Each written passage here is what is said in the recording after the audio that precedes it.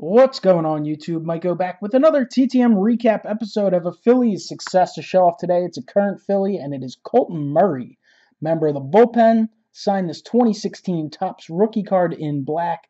Looks really nice. Love the big, thick Sharpie he used. Came out very, very well.